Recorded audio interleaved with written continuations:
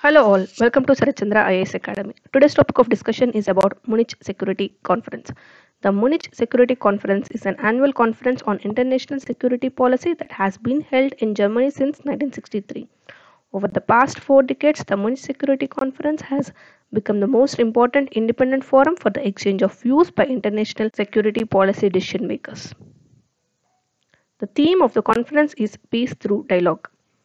It is the world's largest gathering of its kind. The conference also publishes the Munich Security Report, an annual report of relevant figures, maps, and research on crucial security challenges.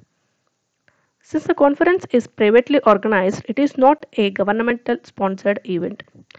It is just used for debate. There is no authorization for binding intergovernmental decisions.